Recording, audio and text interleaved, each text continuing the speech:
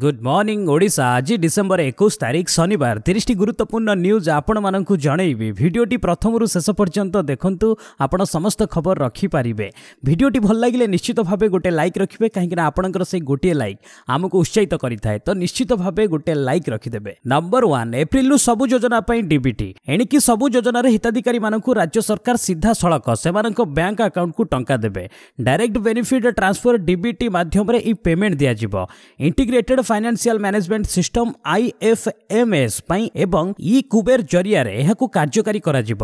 IFMS ଏକ IT budget O accounting ବ୍ୟବସ୍ଥା। ଏହାଦ୍ୱାରା ସହଜରେ ବିଭିନ୍ନ ଯୋଜନାକୁ ଟଙ୍କା ପଇଠ କରିହେବ। ଆସନ୍ତା ଦୁଇ ହଜାର କୋଡ଼ିଏ ଏପ୍ରିଲରୁ ଏହି ବ୍ୟବସ୍ଥାକୁ ଲାଗୁ କରିବାକୁ ସରକାର ଯୋଜନା ପ୍ରସ୍ତୁତ କରୁଛନ୍ତି। ଧାନ ବିକ୍ରି ଟଙ୍କା ଚାଷୀମାନଙ୍କୁ ଅନଲାଇନ୍ ପ୍ରଦାନ କରାଯାଉଛି। ଏଥିପାଇଁ ହିତାଧିକାରୀଙ୍କୁ ବ୍ୟାଙ୍କ ସହ ଆଧାର ଲିଙ୍କ କରିବାକୁ ପଡ଼ିବ। ନମ୍ବର ଟୁ ଆଗକୁ ଆସୁଛି ହାଡ଼ଭଙ୍ଗା ଶୀତ। ଡେରିରେ ହେଲେ ବି ଶୀତ ଫେରିଛି। ରାଜ୍ୟର ବିଭିନ୍ନ ସ୍ଥାନରେ ହାଡ଼ଭଙ୍ଗା ଶୀତ ଆରମ୍ଭ ହେଲାଣି। ତେବେ ଆଗକୁ ଆହୁରି ଶୀତ ବଢ଼ିବ। ରାଜ୍ୟରେ ଶୀତର ପ୍ରକୋପ ନେଇ ଭୁବନେଶ୍ୱର ସ୍ଥିତ ଆଞ୍ଚଳିକ ପାଣିପାଗ କେନ୍ଦ୍ର ପକ୍ଷରୁ ଏନେଇ ସୂଚନା ଦିଆଯାଇଛି। ତାପମାତ୍ରା ଏକରୁ ଦୁଇ ଡିଗ୍ରୀ ହ୍ରାସ ପାଇଥିବା ବେଳେ ଆଗକୁ ଆହୁରି କମିବ। ଫଳରେ ଆହୁରି ଅଧିକ ଶୀତ ଅନୁଭୂତ ହେବ। ସେହିପରି କେନ୍ଦୁଝର ବାଲେଶ୍ୱରରେ ତାପମାତ୍ରା ଦଶ ଡିଗ୍ରୀ କମିଛି। ଉତ୍ତରା ପବନ ସହ ଶୀତର ଲହରୀ ଜାରି ରହିବ ବୋଲି ଆଞ୍ଚଳିକ ପାଣିପାଗ କେନ୍ଦ୍ର ପକ୍ଷରୁ କୁହାଯାଇଛି। ନମ୍ବର ଥ୍ରୀ ଭୂମିକମ୍ପରେ ଥରିଲା ଦିଲ୍ଲୀ ଓ ଉତ୍ତର ଭାରତ। ଶୁକ୍ରବାର ଦେଶର ରାଜଧାନୀ ଦିଲ୍ଲୀ ସମେତ ଉତ୍ତର ଭାରତର କିଛି ସ୍ଥାନରେ ଭୂମିକମ୍ପ ଅନୁଭୂତ ହୋଇଛି। ରିକ୍ଟର ସ୍କେଲରେ ଏହାର ତୀବ୍ରତା ସାତ ଦଶମିକ ଏକ ଥିବା ପ୍ରଥମେ କୁହାଯାଇଥିଲା। ତେବେ ପରେ ଜଣାପଡ଼ିଛି ଏହାର ତୀବ୍ରତା ଛଅ ଦଶମିକ ତିନି ଥିଲା। ଏହା ମୁଖ୍ୟତଃ ଆଫଗାନିସ୍ତାନରେ ଅଧିକ ଅନୁଭୂତ ହୋଇଥିଲା। ନ୍ୟାସନାଲ ସେଣ୍ଟର ଫର ମିସ୍ମୋଲୋଜି ଅନୁଯାୟୀ ଭୂକମ୍ପ ଆଫଗାନିସ୍ତାନର କାବୁଲ ଠାରୁ ଦୁଇଶହ ଛୟାଳିଶ କିଲୋମିଟର ଦୂରରେ ହିନ୍ଦୁକୁଶ ଅଞ୍ଚଳରେ କେନ୍ଦ୍ରୀଭୂତ ହୋଇଥିଲା। ରଇଟର୍ସ ସୂଚନା ଅନୁଯାୟୀ ପାକିସ୍ତାନର କିଛି ସ୍ଥାନରେ ମଧ୍ୟ ଭୂକମ୍ପ ଅନୁଭୂତ ହୋଇଥିଲା। ଅନ୍ୟପକ୍ଷରେ ଭାରତର ଉତ୍ତର ଭାଗରେ ମଧ୍ୟ ଅନୁଭୂତ ହୋଇଥିଲା। ଦିଲ୍ଲୀ ନିକଟବର୍ତ୍ତୀ ଗୁରୁଗ୍ରାମ ଓ ନୟଡା ଏବଂ ରାଜସ୍ଥାନର ଜୟପୁରରେ ଏହା ବେଶୀ ଅନୁଭୂତ ହୋଇଥିଲା। ଦିଲ୍ଲୀରେ ପ୍ରାୟ ଏକ ମିନିଟ୍ ଯାଏ ଏହାର ପ୍ରଭାବ ରହିଥିଲା। ନମ୍ବର ଫୋର୍ ରାଲି ବେଳେ ପ୍ରଧାନମନ୍ତ୍ରୀ ମୋଦିଙ୍କୁ ଟାର୍ଗେଟ କରିଛନ୍ତି ଆତଙ୍କବାଦୀ। ଆସନ୍ତା ରବିବାର ଡିସେମ୍ବର ବାଇଶ ତାରିଖରେ ଦିଲ୍ଲୀର ରାମଲୀଳା ମଇଦାନରେ ପ୍ରଧାନମନ୍ତ୍ରୀ ନରେନ୍ଦ୍ର ମୋଦିଙ୍କ ରାଲି ରହିଛି। ବିଜେପି ଏହି ରାଲି କରୁଛି। ଏହି ଅବସରରେ ପ୍ରଧାନମନ୍ତ୍ରୀ ନରେନ୍ଦ୍ର ମୋଦିଙ୍କୁ ଟାର୍ଗେଟ କରିବାକୁ ଚାହିଁଛନ୍ତି ପାକିସ୍ତାନର କିଛି ଆତଙ୍କବାଦୀ ସଂଗଠନ।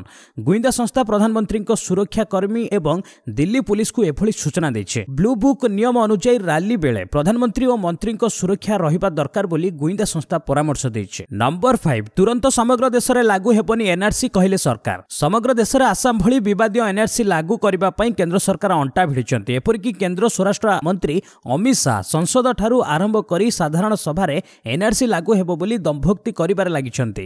ଏହାକୁ ନେଇ ବିବାଦ ସୃଷ୍ଟି ହୋଇଥିବା ବେଳେ ଗୋଟିଏ ପରେ ଗୋଟିଏ ରାଜ୍ୟ ଏହାକୁ ଲାଗୁ କରିବା ପାଇଁ ମନା କରିବାରେ ଲାଗିଛନ୍ତି।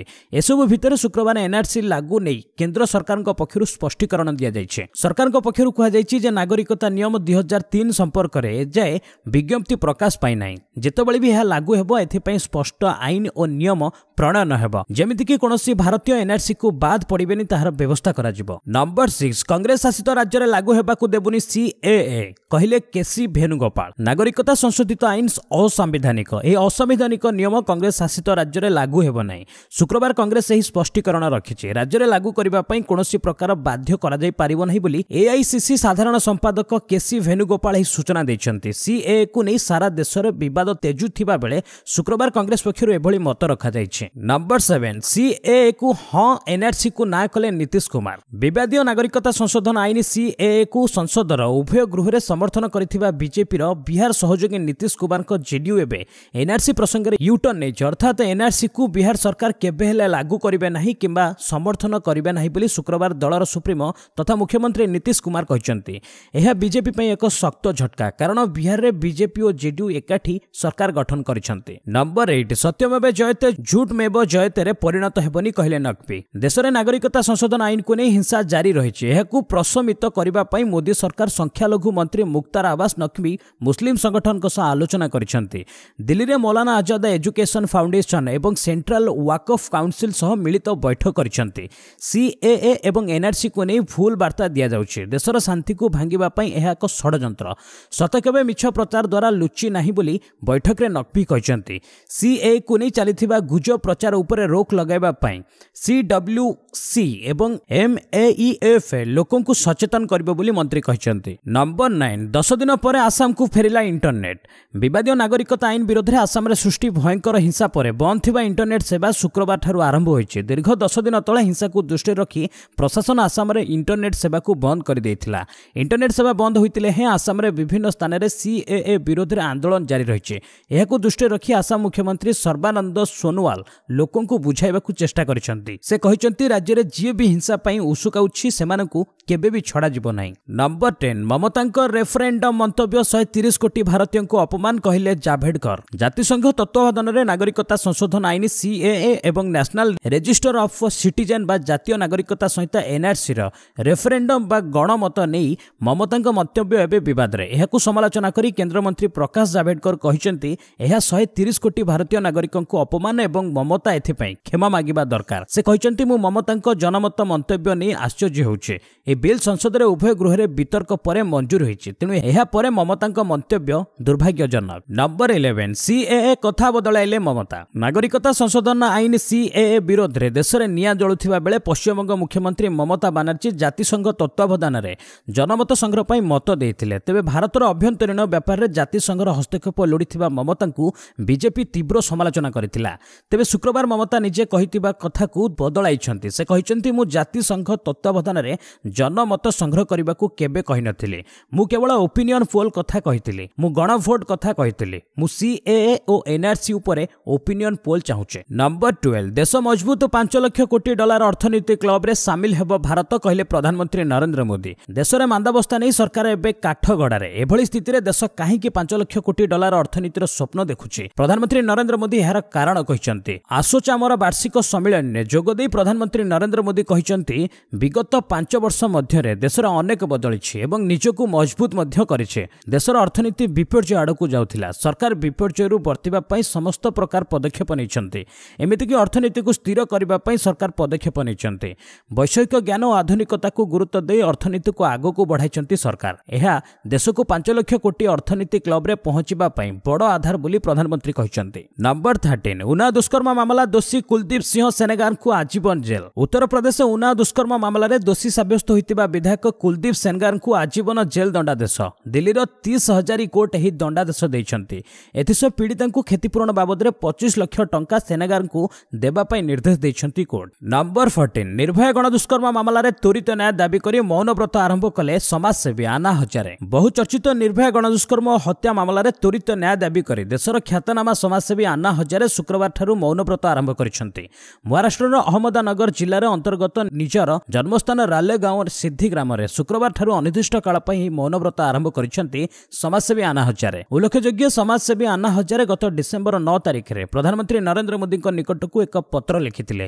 ଏହି ପତ୍ରରେ ସେ ଉଲ୍ଲେଖ କରିଥିଲେ ଯେ ନିର୍ଭୟା ଗଣଦୁଷ୍କର୍ମ ହତ୍ୟା ମାମଲାରେ ଯଦି ଡିସେମ୍ବର କୋଡ଼ିଏ ତାରିଖ ସୁଦ୍ଧା ନିର୍ଭୟା ଗଣଦୁଷ୍କର୍ମ ମାମଲାରେ ନ୍ୟାୟ ମିଳିନଥିବ ତେବେ ସେ ମୌନବ୍ରତ ତପସ୍ୟା ଆରମ୍ଭ କରିବେ। Number fifteen. ଷ୍ଟେସନ ପରିସରରେ ଚେତନ ଭଗତଙ୍କ ବହି ହାଫ୍ ଗର୍ଲଫ୍ରେଣ୍ଡକୁ ବିକ୍ରି ନ କରିବାକୁ ନିର୍ଦ୍ଦେଶ ଏଣିକି ତାମିଲନାଡୁର ଜଣାଶୁଣା ରେଳ ଷ୍ଟେସନ ତ୍ରିଚି ପରିସରରେ ଥିବା ବୁକ୍ ଷ୍ଟଲରେ ଚେତନ ଭଗତଙ୍କ ହାଫ୍ ଗର୍ଲଫ୍ରେଣ୍ଡ ବହି ସହ ଖୁସବନ୍ତ ସିଂଙ୍କ ଉପନ୍ୟାସ women sex love and lust ଦେଖିବାକୁ ମିଳିବନି କାରଣ ଏହି ଦୁଇଟି ବହିକୁ ବିକ୍ରି ନ କରିବାକୁ ନିର୍ଦ୍ଦେଶ ଦିଆଯାଇଛି ରେଲୱେ ବୋର୍ଡର ଯାତ୍ରୀ ସେବା ସମିତି ପିଏସ୍ସି ଅଧ୍ୟକ୍ଷ ରମେଶ ଚନ୍ଦ୍ର ରତ୍ନ ପ୍ରସିଦ୍ଧ ଲେଖକ ଖୁସବନ୍ତ ସିଂଙ୍କ ଉପନ୍ୟାସ women sex love and lust ନେଇ ଆପତ୍ତି ଜଣାଇଛନ୍ତି ସେ ରେଳ ଷ୍ଟେସନରେ ଥିବା ବୁକ୍ ଷ୍ଟଲରୁ ଏହି ବହି ହଟାଇବାକୁ ନିର୍ଦ୍ଦେଶ ଦେଇଛନ୍ତି ନମ୍ବର ସିକ୍ସଟିନ୍ ଦିଲ୍ଲୀରେ ବ୍ୟାପୁଛି ସିଏ ବିରୋଧୀ ଆନ୍ଦୋଳନ ସ୍ଥିତି ଉପରେ ନଜର ରଖିବା ପାଇଁ ଦିଲ୍ଲୀ ପୁଲିସ ନେଲା ଡ୍ରୋନ୍ର ସହାୟତା। ନାଗରିକତା ସଂଶୋଧନ ଆଇନ ସିଏକୁ ବିରୋଧ କରି ରାଜଧାନୀ ନୂଆଦିଲ୍ଲୀରେ ଆରମ୍ଭ ହୋଇଥିବା ଆନ୍ଦୋଳନ କ୍ରମେ ତୀବ୍ର ହୋଇଥିବା ବେଳେ ଏହା ପୁଲିସ ପାଇଁ ଚିନ୍ତାର କାରଣ ପାଲଟିଛି।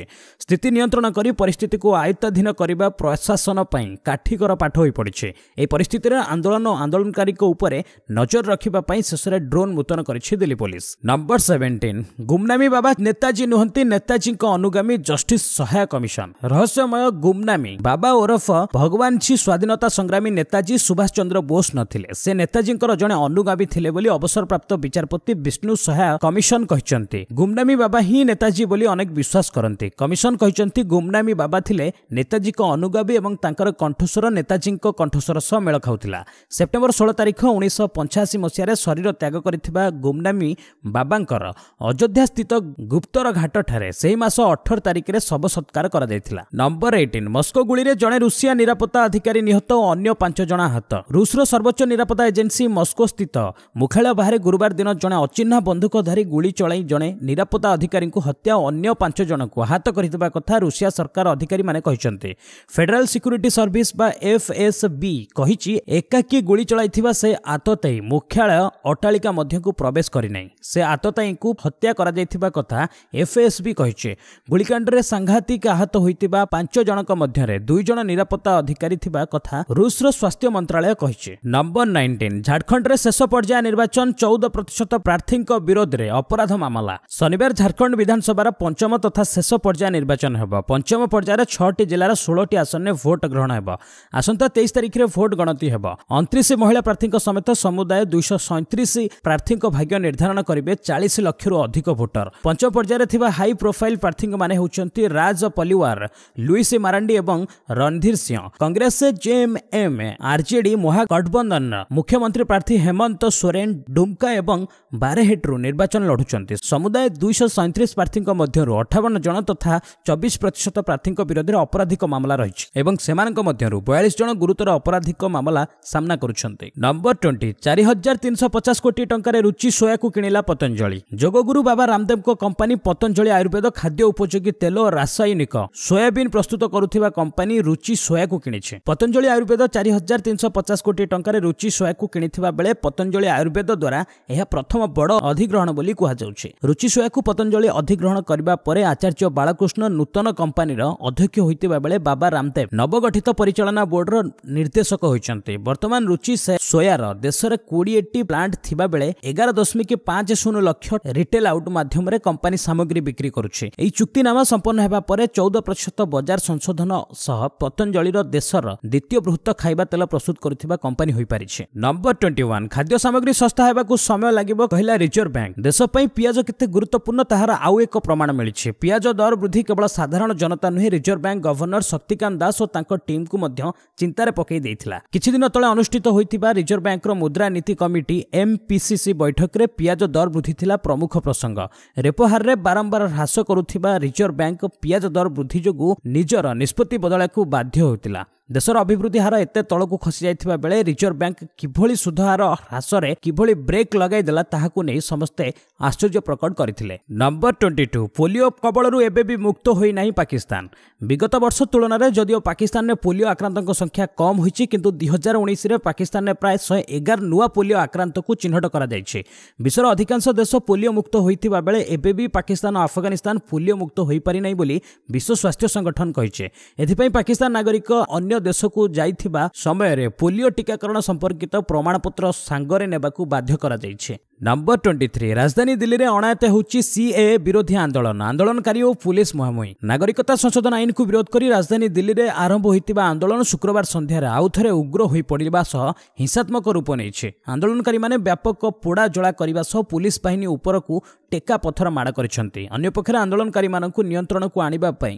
ପୁଲିସ ସେମାନଙ୍କ ଉପରକୁ ପାଣି ମାଡ଼ କରିଛି। ପୁରୁଣା ଦିଲ୍ଲୀର ଦରିଆଗଞ୍ଜଠାରେ ଆନ୍ଦୋଳନକାରୀମାନେ କିଛି ଗାଡ଼ିରେ ନିଆଁ ଲଗାଇ ଦେବା ପରେ ପୁଲିସ ଓ ଆନ୍ଦୋଳନକାରୀମାନେ ମୁହାଁମୁହିଁ ହୋଇଛନ୍ତି। ନମ୍ବର ଟ୍ୱେଣ୍ଟି ଫୋର୍ ୟୁପିରେ ସ୍ଥିତି ଅଣାୟତ ପୁଲିସ ଗୁଳିରେ ଛଅ ମୃତ। ନାଗରିକତା ସଂଶୋଧନ ଆଇନକୁ ବିରୋଧ କରି ବିଜେପି ଶାସିତ ରାଜ୍ୟ ଉତ୍ତରପ୍ରଦେଶରେ ଆରମ୍ଭ ହୋଇଥିବା ଆନ୍ଦୋଳନ ଶୁକ୍ରବାର ଦାବାଗ୍ନି ପରି ରାଜ୍ୟର ବହୁ ଅଞ୍ଚଳକୁ ବ୍ୟାପି ଯାଇଛି। ପରିସ୍ଥିତିକୁ ନିୟନ୍ତ୍ରଣକୁ ଆଣିବା ପାଇଁ ପୁଲିସ ଗୁଳିଚାଳନା କରିବାକୁ ପଡ଼ିଛି ଏବଂ ପୁଲିସ ଗୁଳିରେ ଛଅ ଜଣଙ୍କର ମୃତ୍ୟୁ ଘଟିଥିବା କୁହାଯାଉଛି। ଏଥିସହ ରାଜ୍ୟର କାନପୁର ଗୋରଖପୁର ଦେଓବନ୍ଦ ସାହାରନରପୁର ମୁଜାଫରନଗର ହାପୁର ସାମିଲି ପ୍ରୟାଗରାଜ ବୁଲନ୍ଦସର ମିରଟ ଫିରୋଜାବାଦ ଏବଂ ବାରାଣାସୀ ଆଦି ଅଞ୍ଚଳରେ ଆନ୍ଦୋଳନ ହିଂସାତ୍ମକ ରୂପ ନେବା ସହ ନିୟନ୍ତ୍ରଣ ବାହାରକୁ ଚାଲିଯାଇଛି। Number twenty five exit poll ଝାଡ଼ଖଣ୍ଡରେ ଗାଦିଚ୍ୟୁତ ହେବ ବିଜେପି ଝାଡ଼ଖଣ୍ଡ ବିଧାନସଭା ନିର୍ବାଚନ ବିଜେପିକୁ ଜବରଦସ୍ତ ଝଟକା ଲାଗିବ। କଂଗ୍ରେସ ଆର୍ଜେଡି ଓ ହେମନ୍ତ ସୋରେନଙ୍କ ଜେଏମ୍ଏମ୍ ମିଳିତ ଭାବେ ବିଜେପିକୁ ଏଥର ଗାଦିଚ୍ୟୁତ କରିବାକୁ ସକ୍ଷମ ହେବେ। ପଞ୍ଚମ ପର୍ଯ୍ୟାୟ ନିର୍ବାଚନ ପରେ ଶୁକ୍ରବାର ବିଭିନ୍ନ ସଂସ୍ଥା ପକ୍ଷରୁ ପ୍ରକାଶ ପାଇଥିବା ଏକ୍ଜିଟ୍ ପୋଲ୍ ଫଳାଫଳରେ ଏଭଳି ଆକଳନ କରାଯାଇଛି।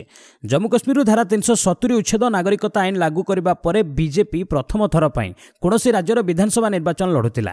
ଏହାକୁ ମଧ୍ୟ ଦଳୀୟ ନେତାମାନେ ପ୍ରସଙ୍ଗ କରି ଭୋଟରଙ୍କ ନିକଟବର୍ତ୍ତୀ ହୋଇଥିଲେ। ହେଲେ ଝାଡ଼ଖଣ୍ଡର ଜନତା ଏହାକୁ ପ୍ରତ୍ୟାଖ୍ୟାନ କରିଥିବା ବିଭିନ୍ନ ଏକ୍ଜିଟ୍ ପୋଲ୍ ରିପୋର୍ଟରେ ଆକଳନ କରାଯାଇଛି। ନମ୍ବର ଟ୍ୱେଣ୍ଟି ସିକ୍ସ ବାରବାଟୀ ଷ୍ଟାଡିୟମର ସୁରକ୍ଷା ବ୍ୟବସ୍ଥାର ସମୀକ୍ଷା କରିଲେ ପୁଲିସ ଡିଜି ମ୍ୟାଚ୍ ଦିନ। ଅଶୀ ପ୍ଲାଟୁନ୍ ଫୋର୍ସ ମୁତୟନ ହେବେ। ଆଗାମୀ ବାଇଶ ତାରିଖରେ ଭାରତ ୱେଷ୍ଟଇଣ୍ଡିଜ ଦିନିକିଆ ମ୍ୟାଚ୍ ହେବାକୁ ଯାଉଥିବାରୁ ଶୁକ୍ରବାର ପୁଲିସ ଡିଜି ବାରବାଟୀ ଷ୍ଟାଡିୟମର ସୁରକ୍ଷା ବ୍ୟବସ୍ଥା ସମୀକ୍ଷା କରିଛନ୍ତି। ପୁଲିସ ଡିଜି ଅଭୟ ଶୁକ୍ରବାର କଟକର ବାରବାଟୀ ଷ୍ଟାଡିୟମକୁ ଯାଇ ସୁରକ୍ଷା ବ୍ୟବସ୍ଥାର ଯାଞ୍ଚ କରିବା ସହିତ ଏହାର ସମୀକ୍ଷା କରିଛନ୍ତି। ପୁଲିସ ଡିଜିଙ୍କ ସମୀକ୍ଷା ସମୟରେ ଭୁବନେଶ୍ୱର କଟକ ପୁଲିସ କମିଶନରେଟ୍ର ଉଚ୍ଚ ପଦସ୍ଥ ଅଧିକାରୀ ଉପସ୍ଥିତ ଥିଲେ। ସମୀକ୍ଷା ପରେ ଡିଜି କହିଛନ୍ତି ଯେ ଖେଳାଳିଙ୍କ ସୁରକ୍ଷାକୁ ବିଶେଷ ଭାବରେ ଗୁରୁତ୍ୱ ଦିଆଯାଇଛି। ମ୍ୟାଚ୍ ଦିନ ବାରବାଟୀ ଷ୍ଟାଡିୟମ ଓ ଖେଳାଳିଙ୍କ ସୁରକ୍ଷା ଲାଗି ଅଶୀ ପ୍ଲାଟୁନ୍ ଫୋର୍ସ ମୁତୟନ କରାଯିବ ବୋଲି ସେ ସୂଚନା ଦେଇଛନ୍ତି। ନମ୍ବର ଟ୍ୱେଣ୍ଟି ସେଭେନ୍ ବାରବାଟୀରେ ଭାରତର ପଲ୍ଲା ଭାରି ଆଉ ଦିନକ ପରେ ବାରବାଟୀ ଷ୍ଟାଡିୟମରେ ଭାରତ ୱେଷ୍ଟଇଣ୍ଡିଜ ତୃତୀୟ ତଥା ନିର୍ଣ୍ଣାୟକ ଦିନିକିଆ ମ୍ୟାଚ୍ ଖେଳାଯିବ। ଏଥିପାଇଁ ଚୂଡ଼ାନ୍ତ ପର୍ଯ୍ୟାୟରେ ସବୁ ପ୍ରସ୍ତୁତ। ଏଥରକୁ ମିଶାଇ ବାରବାଟୀରେ ଖେଳାଯିବ ଏକୋଇଶତମ ଦିନିକିଆ ମ୍ୟାଚ୍। ବାରବାଟୀ ଭାରତ ପାଇଁ ଅନ୍ୟତମ ଲକି ଷ୍ଟାଡିୟମ। ଏଠାରେ ଭାରତ ଅଠରଟି ଅନ୍ତର୍ଜାତୀୟ ତିନିକିଆ ମ୍ୟାଚ୍ ଖେଳିଛି ଯେଉଁଥିରୁ ବାରଟିରେ ବିଜୟ ହୋଇଥିବା ବେଳେ ଚାରିଟିରେ ପରାସ୍ତ ହୋଇଛି।